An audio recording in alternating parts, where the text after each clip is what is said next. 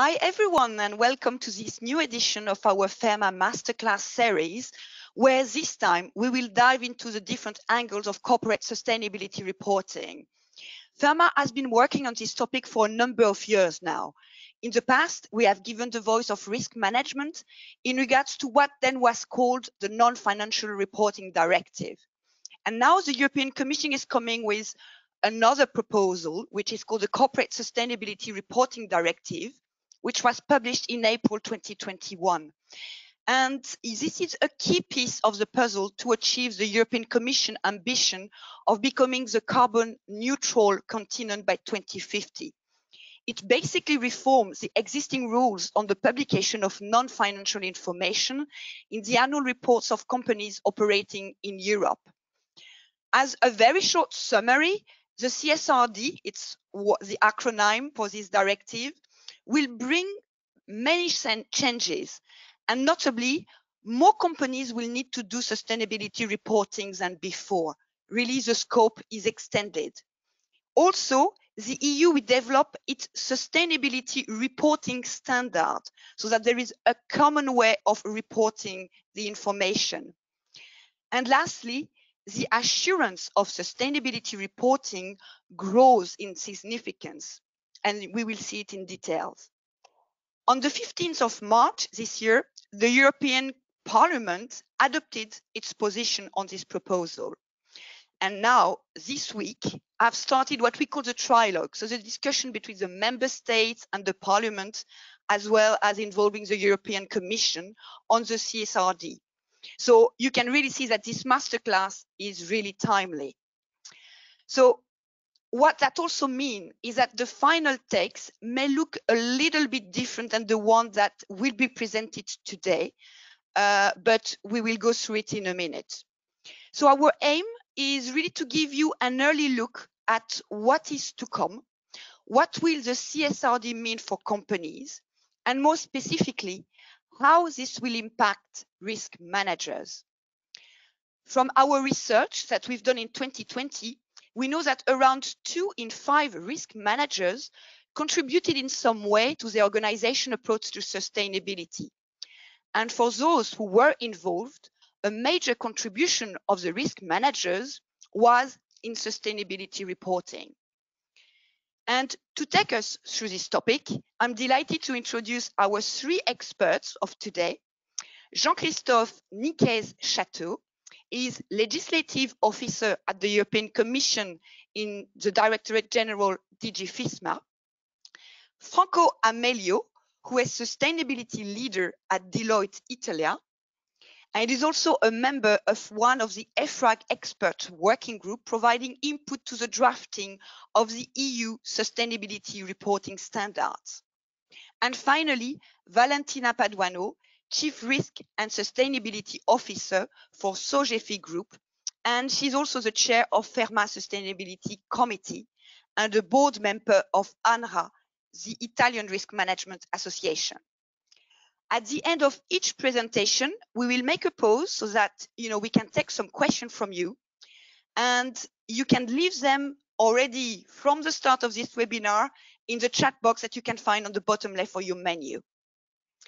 So let's start with you, Jean-Christophe, to give an overview of the key aspects of the new directive proposed by the European Commission. Jean-Christophe, the floor is yours. Thank you, Fan, and good uh, morning, everyone. I'm really happy to be here with you today. Thank you to, to FERMA for the kind invitation to speak. Um, a, a, bit on myself first. Um, so I'm working in the corporate reporting audit and credit rating agency um, following developments on the CSRD proposal, but also more closely on the work of EFRAG and the Project Task Force um, Sustainability Developments. Um, I am also working and responsible for the topic of ESG rating agencies, which is um, a, a, core one to the EU Sustainable Finance uh, agenda. Um, then, as going on to the Corporate Sustainability Reporting Directive, or as mentioned by CSRD, the acronym that I will use to make it easier and also shorter in, in my presentation. Uh, and on its history, back in 2014, uh, the EU agreed the Non-Financial Reporting Directive, or NFRD, which require certain companies, so-called public interest entities, meaning listed companies, banks, and insurance companies, to report information regarding the environment, social and employee issues, human rights, and bribery and corruption on an annual basis. In 2017, the Commission published non-binding guidelines to help companies report relevant, useful, and comparable information. Then in June of 2019, the Commission published additional guidelines on how to report climate-related information, which integrate the recommendation of the Task Force on Climate-Related Financial Disclosure, the TCFD. The NFRD does not specify in any significant detail the information that companies should disclose. And it does not require companies to use a non-financial reporting standard. That element is key. The accompanying guidelines are also not binding, and with the exception of the, the ones with climate reporting guidelines, they do not provide detailed guidance to companies. Companies therefore have considerable discretion and margin of maneuver in deciding what information to report and in the application of the materiality principle, principle that I will come back to later as well. This helps to explain why there are problems with the comparability of information and why many companies do not disclose all information that users think is relevant. The CSRD proposal, uh, next slide, please. Thank you. The CSRD proposal adopted in April 2021 is therefore key to address these shortcomings. The objective is to strengthen the sustainability reporting rules for non-financial corporates according with information needs of market participants, but also other stakeholders, including NGOs. We need a consistent flow of sustainability data all the way from companies to asset managers and analysts to investors. Ultimately, this is about empowering investors to make the right decision and ensuring that what they ask for in terms of green is in fact delivered. Mandatory EU sustainability reporting standards are the most important element of the proposal, but there are also other key elements that I will go through. And next slide, please. Which are about a wider scope, as also mentioned by Typhaine before, but also rules around the treatment for SMEs, audits, and no less than digitalization. Next slide. On the scope first, the proposal would extend mandatory reporting requirements to some 50,000 companies from about 10, 11,000 today. Essentially, all large companies established in the EU and all listed companies in EU regulated markets. A large undertaking is defined in the accounting directive and means an entity that meets two of the three following criteria, net turnover of, around, of um, more than 40 million euros, balance sheet asset greater than 20 million, and more than 250 employees. The scope would also include companies not established in the EU that are listed on EU regulated markets and the EU subsidiaries of non-EU companies. We are focused in our proposal on those companies from whose um, investors need the most information. There is a special regime for listed SMEs, simpler standards, and a three-year phase-in for the requirements. The proposal does not impose any new reporting requirements on the vast majority of SMEs, non-listed SMEs. However, there will be a development of simple proportionate reporting standards for these SMEs to use on a voluntary basis. The standards will help SMEs to respond to the demand for sustainability information from banks, but also from large companies that they supply. They should set a reference for the level of information that banks and large companies can reasonably expect from SMEs. These reporting standards will help SMEs to be part of the transition to a sustainable economy. Next slide, please. Yeah, thank you. Um, the proposal would also introduce for the first time in Europe a requirement for the audit of sustainability information. The absence of an assurance requirement on sustainability reporting threatens the credibility of the sustainability information which is disclosed. The objective here is to have a similar level of assurance for financial and sustainability reporting, so-called reasonable assurance. However, we also understand that a progressive approach is desirable to allow for the development of the assurance market for sustainability information and for the development of undertakings reporting practices. A gradual approach would also phase in the cost for reporting undertakings. There is therefore, this is therefore called uh, limited assurance. Given the potential risk of further concentration of the audit market, the proposal allows member states as an option to accredit independent assurance providers to give their opinion on sustainability reporting. Next slide, please. Thank you. The proposal further anticipates the increasing digitalization of sustainability information. It requires companies to tag information to make it machine readable. The sustainability information can feed into the European single access point uh, to which the Commission proposed uh, proposal uh, a few months ago. Um, next slide, please.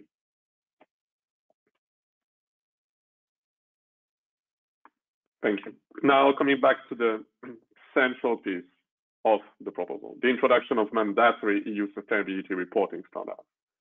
The development of EU standards should provide a rational and a cost-effective solution for reporting companies.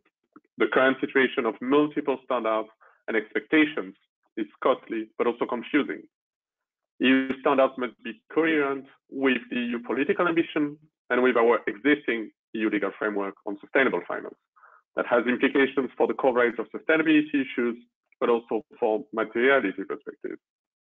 It means that from the beginning, and this is what the PTF and EFRAG are doing, EU standards should cover all ESG topics, including but not limited to climate. The CSRD um, refers that it should be ensured that the information reported by undertaking in accordance with the sustainability reporting standards meet the needs of users. The reporting standards should therefore specify the information that undertakings are to disclose on all major environmental factors, including their impacts and dependencies on the climate, air, land, water, and biodiversity, for example. In addition, and this is key, as I mentioned earlier on, the EU standards by design, integrate both materiality perspectives. They need to cover not just the risk to companies, but also the impact of companies on society and on the environment. This is the so-called double materiality principle. We believe that this increasingly corresponds to the information that financial markets want, but also need. The draft standards are being developed by the European Financial Reporting Advisory Group, EFRAG. The Commission would then adopt the, tech, the technical input from EFRAG as delegated acts, following also consultation by the relevant EU bodies, uh, that includes ESMA, EBA, etc. Um, Commissioner McGuinness, uh, responsible for financial services, um, invited back in May 2021 uh, EFRAG to begin the technical uh, development of standards in parallel to the negotiation of the CSRD, and also invited EFRAG to uh, undergo a governance reform in order to adapt to the new needs. EFRAG has always been working on the financial reporting aspect, and there is a need on that to, to come up with a sustainability reporting um, board as we as we do have now. Mm, reflecting therefore the target architecture for the elaboration of the draft standards. The work of the project task force of EFRAG is organized in clusters, clusters they go from climate, environment, social, governance, SMEs, and also sector specifics, but that will be for, for later. They are responsible in the clusters for scoping, researching, documenting, and drafting the first version of the standards. These standards would then be passed on to the new EFRAG governing bodies. Um, the first uh, meeting actually of the Sustainability Reporting Board is taking place today, the, the, the, this evening, um, in order to, to start the passing, pass, passement de relais between the PTF and EFRAG. The next meeting will then be, there will be two other meetings um, early and end of April. Um, the following um, that, what I can also say here is that at the end of April, uh, there should be um, public consultation run by by the Sustainability Reporting Board, on all of the draft standards that have been uh, developed uh, today. this um, public consultation uh, should run for three months and um, and then amendments, if and where need be, uh, will then be uh, considered before the drafts are delivered to our services. Next slide, please. Next slide. I've already went on this. Yes. Um, so on, on the timeline a bit, I won't be able to give you a definite answer here. This is this is an indication. Um, trilogues between the Parliament, the Council, and where we're also participating as the Commission have started on the CSRD. Last week, um, there was a political trilogue earlier this week. There is also a technical trilogue what is specific that don't need to be discussed, but more political aspects are being considered that is taking place right now with other colleagues also working on on the file. Um, the currently the the proposal speaks about the fact that um, the the adoption of the first set of standards is in October of this year, and the and it also provides that earlier that the new requirements could be in place will be in the, for the financial year 2023 for the reports published in 2024. As trilogues are ongoing, and we also understand that there are proposals both on the side of the council and of the parliament with different timeline. Um, this may change. We will have to see how the, the trilogues uh, develop, but this is the date that we have in the CSRD and that uh, still apply. Um, and maybe uh, uh, one last thing before I conclude. Um, we expect and we hope the trilogues to finish in about a month, a month and a half. This is roughly in general the time that it takes. Um, and we hope then to be able to have some certainty, but actually full certainty on that as soon as possible. Also, for EFRAG to take on when it is developing the, the standards. Um, so thank, thank you very much. I hope I gave you some more clarity on the overall uh, aspect. I'm happy to take on any question you have. Thank you. Thank you very much, Christophe, for the very clear overview of, of the proposal. And when we look, you know, at this slide in terms of timeline, we really see how ambitious it is and that uh, already companies need to start preparing um, in order, in case, to be ready uh, to report uh, in 2024. But as I understand, there are discussion about the timeline, uh, maybe to give a little bit more time to companies to uh, to set in motion. Um, it's time if you have any question, if you want to send some question, it's time. While uh, the question are coming, I have one for you, Jean-Christophe. A big concern that we usually hear from companies um, regarding sustainability information relates to supply chain. How do you foresee companies dealing with a situation where suppliers, you know, are outside the EU and basically can't or don't have the data needed that should be reported? Thank you. Thank you for the question. Um, th this is something that EFRAG and the project task force right now are actually working and so in, in the draft standards that you have, you have different elements. So you have so-called topic standards that go from um, climate, environment, social, etc. But you also have cross-cutting standards that apply to all. Some cross-cutting standards include principles around double materiality, but they also touch upon supply chain, value chain. So this is something that EFRAG is working on in order to make sure that it works in practice and that it is proportionate and adapted to the needs. So we will have to see when we receive the draft from EFRAG how it works in practice, but I, I, cannot say more for now that this is a question which is important. EFRAG is working on it, and then we'll take this on, but it's very important that it is proportionate. This is what is key to us mm-hmm. always and maybe another one which is linked to supply chain, but um, also to the fact that SMEs, we see that SMEs, if they're not listed, mm. um, it they will not have to they are not in the scope of of of the of the directive mm. so it will be on a voluntary basis but basically as part of the supply chain smes mm. are indirectly impacted by this directive is it also something that you have foreseen or you have been discussing when you were uh, drafting the proposal?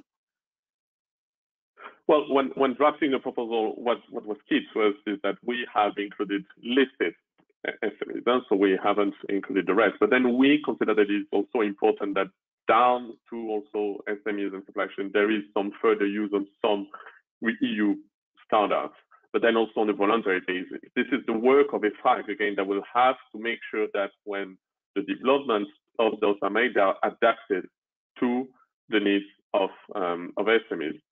Again, um, all elements that are put forward now by EFRAG, we understand it with this aspect in mind. And there will be, so the, the structure of the standard is going from discussion requirements, application guidance, but you also have basis for conclusions that explain the rationale behind.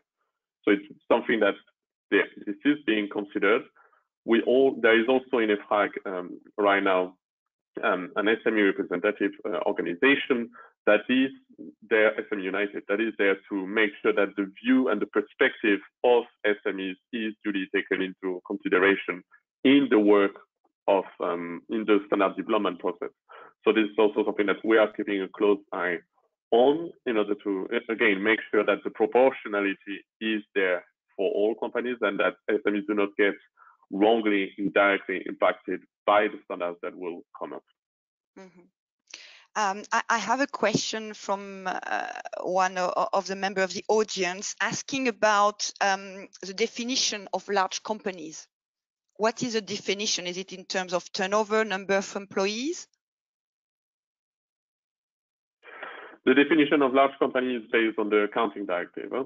So this is the three criteria that I had mentioned before. Net turnover is, well, in order to be as a large company, you need to meet two out of three criteria. The three criteria are net turnover more than 40 million euros, balance sheets asset greater than 20 million euros, or more and or more than 250 employees. If you meet two out of three of these criteria, then you will be considered as a large company and then fall within the scope of the CSRD. Okay. Well, uh, we will move on. Um, so there was a question coming in, but we will uh, keep them for the end during the Q&A so that we've got the chance to listen to um, our two other speakers. So uh, we will now move to you, Franco Amelio. So um, you will be in speaking about the disclosure of non-financial information specifically and notably the use of sustainability reporting standard that we've seen from the presentation of Jean-Christophe is very important. So, uh, Franco, the um, the floor is yours. Okay, thank you, thank you, and good morning to everybody. Thank you to FERMA for this invitation and for this opportunity. Now, what we can try to okay to explain uh, to uh, all the audience is to uh, try to understand together uh, the importance of the data coming from sustainability reporting, uh, considering that we are talking about a mainstream uh, data, because now, uh, as you can see, uh, we are not talking about non-financial, but we are talking about sustainability reporting. And this is a big change in terms of, okay, importance, relevance of this kind of data. And we, when we talk about sustainability reporting, we are talking about uh, environmental, social, and governance data in order to uh, have a right picture of what we need in terms of information, considering that financial data is not enough at this moment, considering all the uh, external uh, uh, and geopolitics uh, environmental. What we are trying to do is to understand better what my, for example, investment and my decision is, is in the right way, is in the right approach in the medium long term. As you can see uh, on, on, this picture, on this slide, um, we have many, many uh, different uh, frameworks of ESG reporting. Uh, and by the way, what we can try to okay to to analyze all together is that uh, now we have a very a strong input coming from EU in terms of reporting, in terms of Green Deal, uh, decarbonization, and we have a clear roadmap of what we can try to okay to uh, to carry on for the future on sustainability. Uh, on this case, uh, for non-financial reporting directives, our takeaway is that, uh, okay, we need to understand how all the corporation, the big corporation, in this case, the large company, as Jean-Christophe has said us uh, before, are trying to explain in terms of ESG impacts. And uh, the standard that um, mostly European uh, large companies are using is the Global Reporting Initiative. That is a standard uh, coming okay from several years and here in Italy, but in all around Europe, uh, the practitioners are using GRI to comply. Uh, in Italy, we are talking about 100% of all the um, undertaking companies that are um, in, in uh, that are in uh, under the um, the directive. And now what we are trying to okay to implement is the EFRAG standards in order to have a big picture and to have I mean, uh, all the information are uh, tried to standard standardize the information, considering that we have a big trade-off to, to, to deal, let me say, in terms of uh, a trade-off between uh, the flexibility that we are trying to do to all the corporation and the harmonization, because we need data that are in terms of comparison, in terms of uh, sector, and so we are trying to define this trade-off between uh, flexibility and harmonization. What we can see on this slide is that, okay, we are working on NF NFRD now, we are moving to CSRD, uh, and CSRD is very relevant uh, for all the information coming uh, from all the large and um, and medium companies that are uh, on, on, scope uh, on these new directives, considering that we are going to um, to try to harmonize all the information according to EFRAG standards. It's very, very, very crucial and important. And uh, another point uh, for data and harmonization is uh, considering that new taxonomy. Uh, we are now the taxonomy is working on environmental uh, objectives and, and goals but as you know, taxonomy is working to define a specific classification for environmental and social matters. We are working to define, for example, for the future, the corporate governance uh, rules coming from new directives in terms of, okay, due diligence activity on sustainability matters. And all this information are crucial for investors to understand how can allocate my capitals in terms of uh, right uh, investment and uh, the risking my investment considering all the, the, the situation. And in, uh, it's very important from my point to, um, uh, to stress uh, on this point. We have the double materiality and when we talk in, in, terms of double materiality, we need to understand that, no, uh, remain to the, please, to the previous slide. Sorry, okay. When we talk in terms of double materiality, we have um, uh, on the right of this slide, impact materiality. And now on NFRD, um, we are uh, disclosing in terms of ESG impacts. And on this case, we have uh, the flow is from inside to outside in terms of ESG impact coming from corporation for environmental, to give you an example on climate uh, emission, uh, CO2 emission, or other social impact, uh, or all the impact that usually the corporation, the supply chain, the value chain are in place, and we are trying to explain how in this, uh, let me say, a materiality matrix, we can consider the topics coming from the corporation and all the operation of the corporation. On the mm, left of this slide, we have the financial materiality, and financial materialities means uh, uh, to the other flow, to the other direction, is the direction coming from outside to inside, what it happens in terms of ESG topics uh, that can affect my operation, my corporation, and my financial statement, okay? And uh, what we can see is that, uh, okay, right, on, the right, we have many, many um, standards that are able to explain this kind of impacts. On the left, we have several standards where we are working to understand better what it happens on financial materiality, considering, for example, SASB coming from US, integrated reporting, or IFRS, and the, okay, try to have, I mean, a common principle, a common standard in terms of sustainability information, I think would be the next stage, the next um, uh, milestone in terms of harmonization. It's not easy because when we talk about ESG, we are talking about many, many data on quantitative and qualitative data.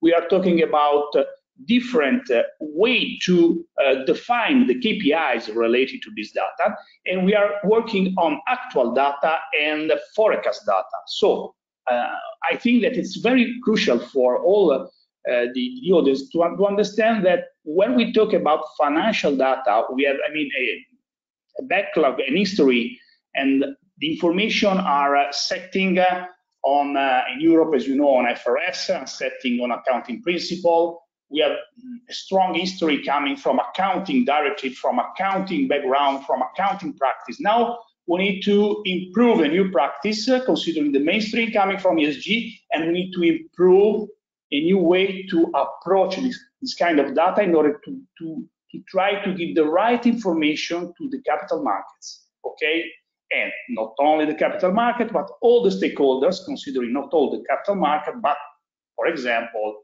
clients, uh, suppliers, communities, and so on, all these stakeholders. As next slide, please. Next. When we talk, okay.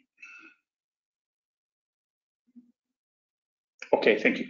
When we talk about the um, the climate risk and uh, uh, we are working on FERMA, and so for all the practitioners, very I mean, uh, clear what uh, we, we, we are trying to, to explain in terms of risk, in terms of ESG risk. And the first, uh, in terms of priority, the first issue that we are now, now to try to, to integrate in, in the risk analysis, in the risk management approach, is to understand what it means transition risk and physical risk. When we talk about climate change, okay, transition risk is the risk that all the companies that are in terms of carbon um, utilization of all the energy, all the carbon uh, products, they need to, tran to transform the operation in order to uh, to uh, let me see to cross let me say a, a river uh, in terms of new products, new energy, new activity considering a low carbon emission, a low carbon economy. And this transition is a transition coming from rules. In particular, EU rules are very clear in terms of transition, considering the Green Deal goals for 2050. And what we are trying to, to work is not only on uh, um, sustainable energy uh, suppliers on uh, renewable energy or something like this. We need to work uh, in order to transform the way we, we are approaching our products, our, our raw materials. Now, yesterday, we had a new uh, draft uh, from Europe uh, in terms of circular economy. We need to redesign and rethink our way to approach our economy in terms of linear economy and now we are working in a linear way, and we need to work in a circular way. So when we talk about transition, we talk a big transformation. Okay, we are not talking about compliance because if we if we misunderstood that we are talking about compliance, it's another it's another matter. It's another field.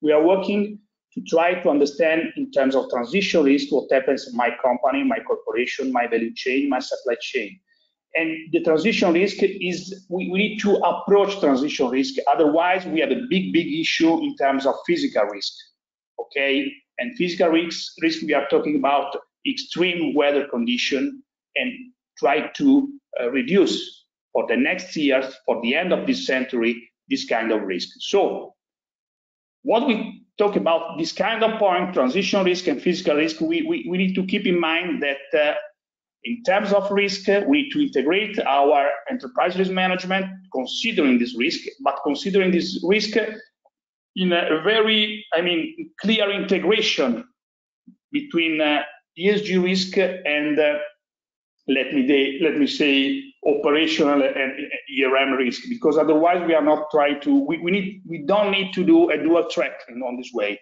and to the other end i think it's very important that on this point when we talk about the financial materiality and we talk about the financial statement impact coming from climate change for example we are now talking about impairment tests okay useful life of my asset we are talking about liabilities coming from the transformation for example, many, many corporations need to have a loan, specific loan to approach this, this transformation, this transition. So they need to explain how I can use this, uh, these funds in order to invest on this transformation. So in terms of financial statement, we have many, many um, items coming from this transformation and we need to understand how to explain and disclose this kind of impact, okay? So it's very crucial to understand that that information coming from CSRD is information that we are able to uh, share with capital market, investor, banks,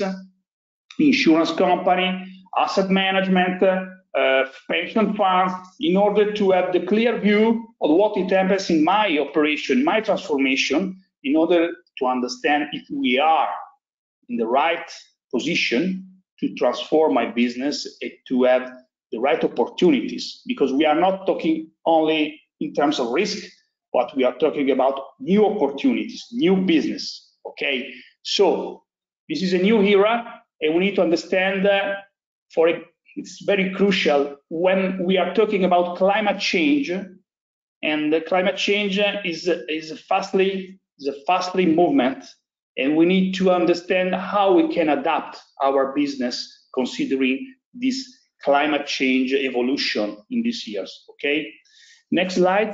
Thank you. Uh, considering CSRD, as Jean-Christophe uh, said before, um, for us, it's very important to understand that CSRD, we are working on mainstream, we are working to define a specific set of information that are the same relevance and importance of financial statement and all the information coming from sustainability are in the management report.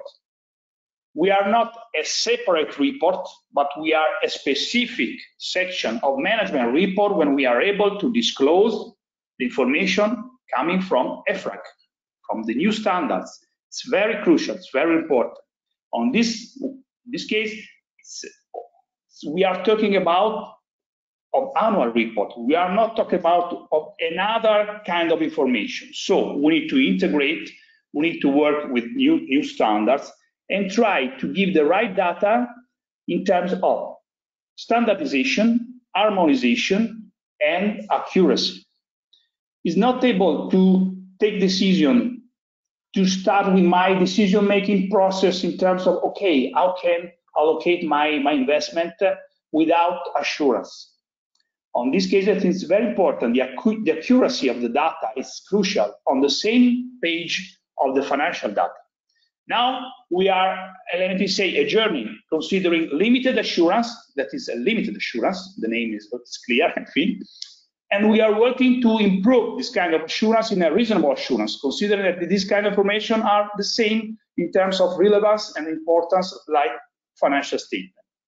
Next slide considering not only, I mean, Europe in terms of consideration, I think that the published working paper coming from EFRAG are, I think, in a complete view, we are able to understand that we are talking about environmental, environmental, social, governance, and we are trying to define a common setting of information, considering that the complexity, because we are talking about complex information. We are not talking about easy information. And we are trying to define a standard in order to be able to provide the right information, to disclose the right information, and to have all the setting of data that all the market participant can, uh, I mean, uh, uh, listen and can uh, adopt in terms of decision-making process. Okay, I think that now the, the, the of the EFRAG published work, working paper is, is, quite good. And the next step, okay, is to, let me say, to define a common set of information like this uh, and define all the, let me say, uh, right approach in terms of the um, disclosure information, considering the articulation, the complexity, I, I, I repeat, the complexity of all this, uh, uh, this subject matter uh, consideration in terms of sustainability. Next slide. Another um, input coming from North America, from USA, mm, just last week, is, is, a draft coming from, uh, from SEC.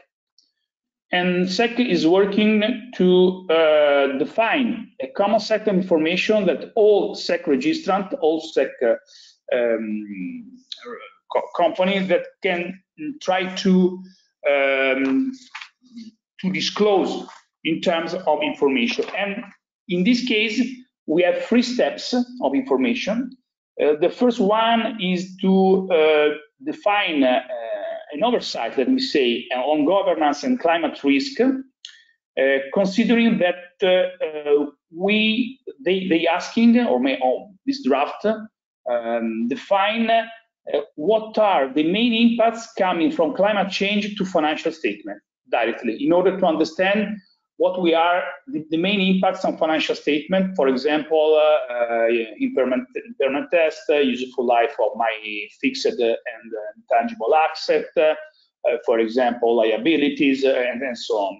The second stage of, of this, of this draft is a proposal is to, to disclose the main assumption considering the impact that we have in, in the financial statement and the first, the first uh, stage is considering the data matrix coming from scope one, scope two, and scope, or scope three on GHG protocol, GHG protocol, considering the uh, CO2 emission uh, mainstream data. Okay, so uh, now we are okay, working to understand better this, this new standard, but as you can see, uh, SEC is uh, moving forward to, to have the right information uh, for, for the undertaking on US and yes, listed company in order to have the information coming specifically for from climate change on this case. When we talk about CSRD and EFRAG, we are talking not only on climate, we are talking on environmental, social, and governance. So the three pillars, okay? In this case, SEC is more focused on climate change on this case. Uh, next slide, please. If we move on IFRS, IFRS is working to define, uh, let me say, a global standard, considering that, as you know, we are now working on IFRS on financial statement here in Europe in, in other parts of the world. And we have a strong conversion between IFRS, for example, US GAAP in terms of accounting principle uh, IFRS is trying to define, let me say, a common standard, a global standard, in order to harmonize all the information and try to have, uh, uh, on this case, uh, a specific standard that we can adopt considering, uh, and firstly, the climate change issue. Okay. Now, what the next, I mean, uh, step of, of, of this of this journey is try to understand how can we integrate uh, to have a common standard. And as you know, uh, IFRS and EFRAG is working for the future in order to harmonize the standard. I think that could be very useful, helpful for all to have a common standard global level, considering also the US, US rules. from my point of view, when we talk about climate change, when we talk about uh, CO2 emission, we have a global issue, a global problem, and we need to approach, if it's possible, with only one mainstream uh, or one, one main uh, disclosure approach. But by the way, uh, I agree that we, for, from my point of view, it's very important that uh, at the European level we are working in the right direction, we are working in the right time, and try to, to let me say, uh, define the, the um, to give, for example, an example for the other for the other markets in order to to be sure that we are trying to achieve all altogether the Paris Agreement in terms of climate change, for example. But I repeat, when we talk about climate change, we don't need, we are not, it's not possible to, to have only climate change. It's a systemic problem, it's a systemic view. We need to integrate climate and social. We don't have the possibility to have a, a, separate silos with climate and social. We need to integrate. So I agree with the European, for example, rules in terms of to have a common view of environmental and social. Okay, the climate is very urgent. I, I agree, but it's not possible, from my point of view, to have climate separate to social because it's a very unique and systemic view in order to have the right approach for the next future. Thank you very much for your uh, for your attention, and uh, thank you. I'm waiting thank for you, uh, questions. Okay. Thank you very much. Really, from your presentation, it's very clear that there is a trend towards really more consistent, comparable, and reliable information on sustainable performance of companies, which I would say would be comparable in terms of requirement to what is now being requested in terms of financial information, basically. But um, let's take some questions from, from the audience. Um, I see that there is one about horizons. What time horizons need to be considered for this? The time horizon calculation, basically. It's um, about the IFRS, basically. Sorry, I don't hear you. I have a problem for, of, of connection. Sorry, could you repeat the, the question because I, I don't hear you. Yeah, the question is what time horizons need to be considered. You cannot hear me. Can you hear uh, me now? The question is about the horizon. Okay, Sam sees. Yeah, the time. Um, so what time horizons need to be considered um, for this calculation? Uh, okay, uh, I, I, think that it's very important to understand that the uh, horizon, that the, the, next generation EU plan for the new investment coming from Europe, it's a crucial point to have public investment and a private investment in connection in order to, uh, let me say, support this transition. And uh, when we talk about next generation EU, uh, as we know, we are okay a very strong injection of investment coming from EU to define, for example, climate change, uh, renewable technologies, uh, circular economy technologies. We are talking about digitalization. I mean, this is very crucial.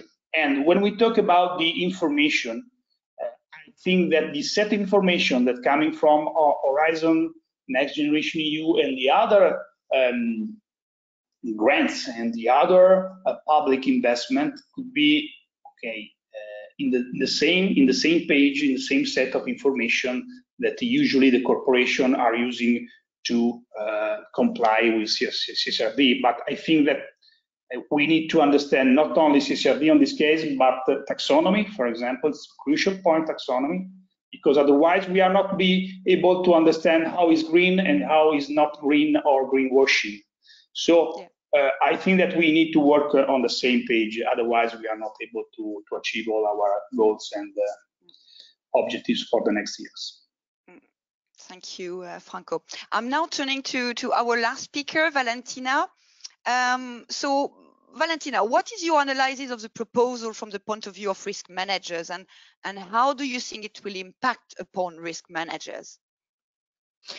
Yes, Typhaine. First of all, thank you so much to Jean-Christophe and uh, Franco because uh, they give us a really clear recap and overview on this new requirement of this uh, new directive. Uh, there are a lot of points that we should comment and discuss to consider to reflect together on um, how uh, this requirement will affect our company um, and um, of course uh, mm, what uh, what will be the effort that um, that can be required to our organization. So, but um, let me just start from an operational perspective, Typhaine. Um, I believe, first of all, I believe that the creation of a common standard that uh, Franco explained us is uh, a great opportunity for the market uh, and uh, and the company themselves because um, that will allow, allow us to be able to easily compare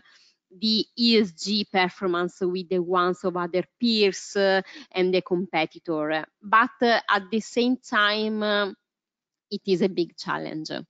Um, over the past years, uh, uh, our companies worked a lot to set uh, internal processes uh, um, for um, for collection and monitoring uh, uh the KPIs. And for example, in my experience, aligned uh, we are aligned. Um, what said by Franco, of course, we adopted the GRI standards, and uh, it is a effectively the, the, the common choice in Italy. Um, and um, after six, seven years of adoption of the implementation of the non-financial reporting directive, this process has been consolidated um, we improved continuously the quality and the reliability of the data, the information provided, and also to have a, a most efficient process to collect and to report this data in the um, in the in the non-financial report. Now it is requested to review this process and likely to rethink the calculation method, the assumptions, uh, and, and, so on. Um, I really hope that uh, this common standard will be published on time to allow the company to have a, a reasonable period to prepare uh, the internal processes before the preparation of the non-financial statement. Uh, there are many data to report. They are usually complex uh, with a high level of detail um, that is required. So um, it is not immediate for a company to comply with uh, that requirements and ensure a proper level of data governance. So I really hope that this process will be uh, aligned uh, with the, the timing expectation. Um, another point that I would like also to on which to reflect is uh, the external assurance. Uh, in Italy, it is not uh, a news because uh, our Italian decree on non-financial reporting already defined to have an external assurance on our non-financial reporting. So let me give my experience on that. First of all, uh, what I can say is that the external assurance is a great opportunity because uh, give value um, to the to give to, to give uh, value to the non-financial statement, of course. But it is a further factor of complexity in the process of the reporting preparation. Uh, sometimes uh, the external auditors um, could require a compliance approach to the regulation that is not always business oriented, being wider than what can be interpreted by the company. And usually it creates a difficult debate with the auditors. So um, the process and the approach in general must be set considering that they have to achieve the external assurance uh, the governance of the data collected and reported in the non-financial statement is one of the main aspects that usually is evaluated by an external auditor. So it is really important, uh, based on my experience, to work on uh, on that together with the operational uh, KPIs. So um, it is really important to establish a collaborative relationship with external auditors by sharing and discussing with them uh, the approach to adopt and the key steps over the report preparation. This could facilitate the process and and the assurance of, of the report. Um, finally, uh, let me comment the uh, double materiality that I consider one of the key steps for the non-financial uh, reporting, um, and also the big opportunity for um, for us as risk managers. Um, until today, it is requested to assess the relevance of ESG aspects from two perspectives, the external stakeholders and the company itself. Uh, the new regulation will require to assess that relevance considering the impact that sustainability factors have on the corporate performance and its strategy and vice versa. Also the impact that the business activities have on people and environment. What this means um, this means that uh, the new regulation requires to move from what is relevant to why it is relevant. And in this way, the company can have the opportunity to prepare a more focused report, avoiding a flat disclosure. Um, defining why an aspect uh, is relevant uh, means to identify and assess the related risk and opportunities, of course, considering uh, with the challenge to estimate not only the impact on the business, so the inside effect as explained by Franco, but also the external effect. And it is uh, an important challenge because um, to reply to that needs, it is fundamental to ask the support and the involvement of the risk manager in the in this process. Um, the adoption of the risk management methodology usually already consolidated within our organization is the key to approaching the right way at, at these new requirements in my in my opinion mm, in that context, uh, the latest and maybe the first challenge is to establish a cross-function collaboration over the entire process with uh, a lot of functions. In my experience, of course, I had a double cap. So I am I am risk managers, but I am also sustainability director. So uh, the involvement as a risk manager is is easy, uh, and I took this opportunity to rethink the um, non-financial reporting process by applying a risk-based approach. Um, following, of course, the instruction of the Italian and European regulation, I started to identify and assess the main ESG-related risks and them and then link to them the ESG aspect that must be subject to the materiality assessment. Uh, so the materiality evaluation done internally take into account the company perspective um, and uh, is aligned to the ESG assessment, risk assessment performed, and of course it is reflected in our materiality metrics. Starting from that approach to comply with the double materiality, we should extend probably the risk assessment process to the effect on people, to the external effect on people and the environment. And uh, the problem is uh, uh, that we will need to understand how to calculate and estimate this kind of impacts. Uh, it is a big challenge. Um, anyway, I think that uh, we are following uh, the, the, the, right the right direction. So uh, I think, uh, again, let me repeat that uh, this uh, new concept of double materiality, of course, for uh, us as a risk manager is a a very good opportunity, great opportunity. And uh, I hope that our colleagues that uh, are responsible of the non-financial reporting will open their process asking by asking the involvement of uh, risk managers within within this process. Thank you very much, uh, Valentina, for bringing you know this business perspective into um, into the discussion. And we clearly see that you know this new law will bring a lot of changes for companies who will have to report in far greater details and maybe differently all the ESG related matters. Um, so yeah, what you mentioned, they will need time for sure to adapt and, and probably support as well to, to, to make sure that they approach a new requirement in, in the right way. Um, I will now open the floor to, to, to question. We will have a few minutes uh, for the Q&A. Um, so I'm looking to see if there are any questions coming in. Yes, we have a question for you, Valentina. Um, what do you recommend that risk manager who are not involved um, or who are not, as you are, sustainability director, should do to be more involved in the topic?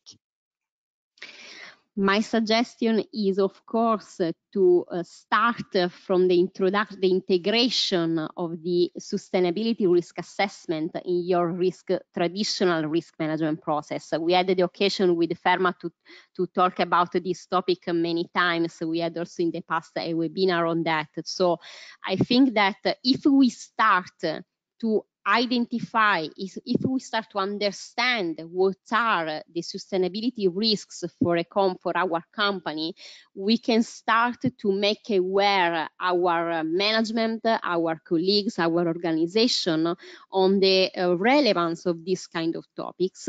And this could be the first starting point, the first step to approach also to the um, requirement of uh, a disclosure of this kind of information, starting from the analysis and the evaluation done from a risk perspective. Thank you, Valentina. There is a question also for you, Jean-Christophe, about, you know, we, we've been speaking about the CSRD, but also you mentioned that there was this new CSDD, so it's a corporate sustainability due diligence. What's basically the difference between the two?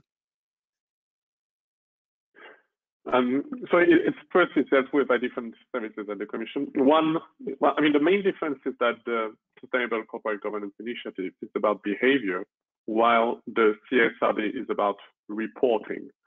So this is the the, the main element of difference, and um, and then the, the there will be due diligence reporting obligations within the standards, but that's again about the reporting element. So there is a link between the, the two initiatives, but they still have different scope and also objectives.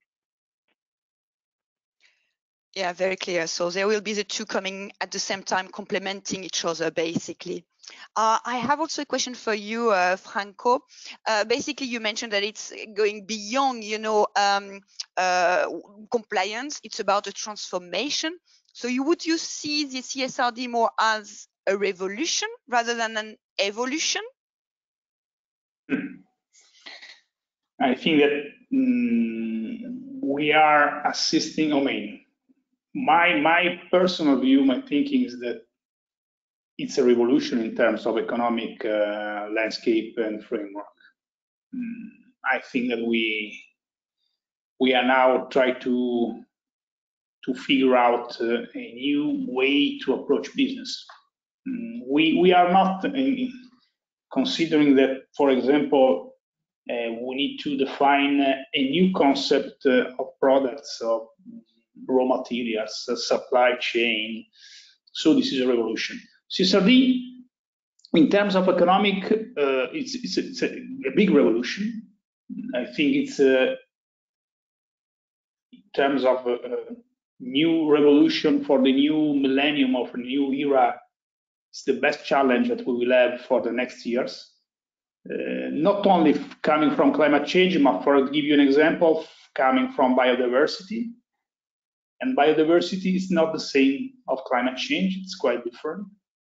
It's a big uh, challenge in terms, for example, of social consideration coming from all we are happening now in terms of conflict, and we are and we are, for example, for new uh, way to approach uh, business uh, coming from COVID uh, situation so on. So, uh, for my point of view, CSRD, it's, it's, it's a way to try to monitor and report what's happening in our in our what's happening in our corporation for, for, for, for the actual data and for the future. But uh, I think that we, the new entrepreneurship, uh, are aware that it's an, a new, it's a new deal, it's a new way to approach business.